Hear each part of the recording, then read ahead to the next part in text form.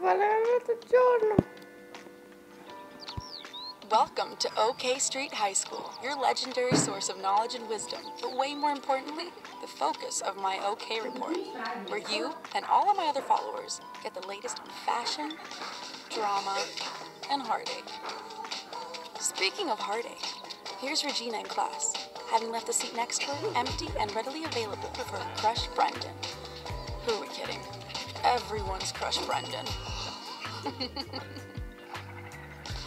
Aw, isn't that sweet? But we know something Regina doesn't know. Because we saw someone placing something in her locker. And, well, yeah. oh no, Brendan saw. But let's not give up on them just yet. The original meaning of the name Regina is queen. As in lonely at the top queen? Or as in cheerleading queen?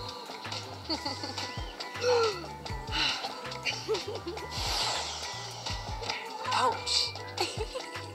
I wonder who so skillfully did that. As our heroine cools off, she gets some very sad news. Rumor in the bathroom has it that Brendan will be asking Brittany to be his date. As if Brittany's life isn't already perfect, what with her family running a five-star hotel and all. Dry your eyes, baby girl. There's a new surprise in your locker.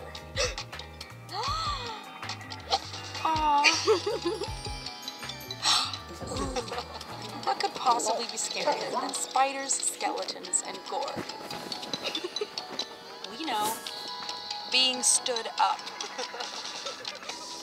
Poor Regina. But wait, look. so, we all know Regina means queen, but who knew Brendan means king? That's it for today, folks. And remember, life can sure be sweet on OK Street. XO, XO.